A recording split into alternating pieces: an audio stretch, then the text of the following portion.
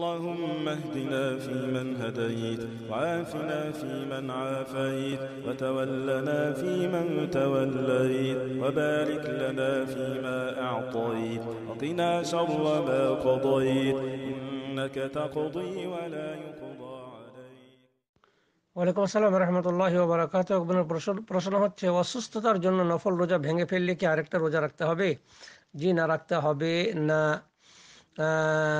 এর দলিল হচ্ছে যে আল্লাহ রসুল সাল্লা সাল্লাম থেকে প্রমাণিত যে তিনি বলতেন, ইদা আসাম আর রাজুল ওয়ান বা ইবনে আব্বাস রাজি আল্লাহ তালন থেকে প্রমাণিত তিনি বলছেন যে, ইদা আসাম আর রাজুল ওয়ান যখন কোনো ব্যক্তি তাতা অর্থাৎ নফল সিয়াম পালন করবে তুম মাসা আয়াক্তাহ কথা আর সে যদি চাইবে ভেঙে দিতে, তাহলে ভেঙে দিতে পারবে। তবে পূর্ণ করাটাই হচ্ছে উত্তম। পূর্ণ করাটা হচ্ছে উত্তম।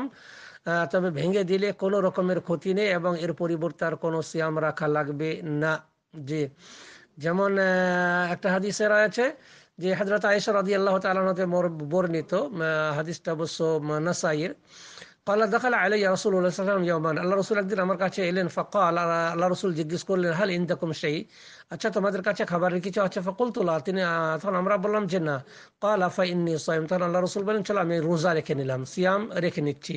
সুম্মা মর্রা বায়দা জালিকাল ইয়ম তারপরে আল্লাহ রসুল একদিন আবার কিছুদিন পরে এলেন ওয়াকাদ উহদিয়া ইলা হাইসিন ইলাইয়া হাইসুন আর আল্লাহ রসুল আমাকে কিছু হাইস বলে একটা খাবার, সে খাবার আমাকে উপহার স্বরূপ দেওয়া হয়েছিল। ফখাবাতুল্লাহ মিন, আমি কিছু খাবারের অংশ আল্লাহ রসুলের জন্য লুকিয়ে রাখলাম। ওখানে ইহিবুল হাইস, আল্লাহ আল্লাহ আল্লাহ রসুল খাবারটা অত্যন্ত ভালোবাসতেন। কুলতু রাসুল আল্লাহ তারপর আল্লাহ রসুল যখন বাসায় এলেন তখন বললাম ইন্দাহু উহদি আল্লাহর হাইসুন।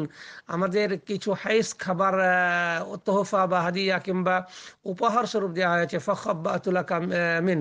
সেই খাবারের কিছু অংশ আপনি আপনার আপনার জন্য লুকিয়ে রেখেছে কালা উদিনী। তখন তিনি বললেন যে, নিয়ে এসো, কাছে নিয়ে এসো। আমা ইন্নি কাদ আসবাহাত আনা সাইম। আমি সকালবেলা আজকে সিয়ামের বা রোজার নিয়ত রেখেছিলাম, ফা আকালামিন তারপরে তিনি কি করলেন? খেয়ে ফেললেন। এখান থেকে বুঝতে পারা যাচ্ছে যে রোজা রাখার পরেও যদি ভেঙে দেওয়া হয়, তাহলে কোনো সমস্যা নেই। আর এই রোজাটি পরবর্তীতে রাখতে হবে